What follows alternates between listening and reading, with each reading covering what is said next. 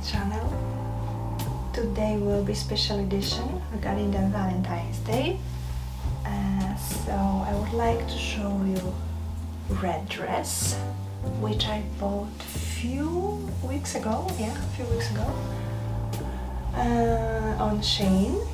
Mm, I was inspired by Michelle Rodriguez uh, Michelle Rodriguez dress from Fast and Furious so she's wearing similar dress to this one.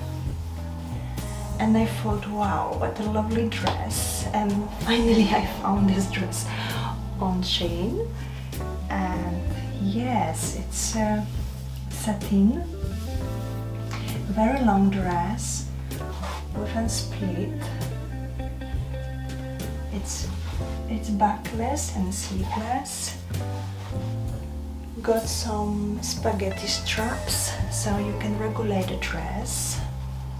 It's very comfortable stretchy as well. And I've got some zipper at the back at the bottom actually here so um, I've got this dress in small size and I have seen this dress in different color in green and dress is just fabulous. I love it. It's really nice.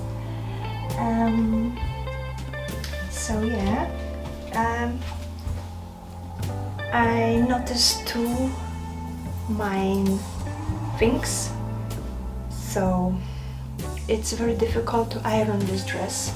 And another thing this dress is too long. It's too, I'm quite tall.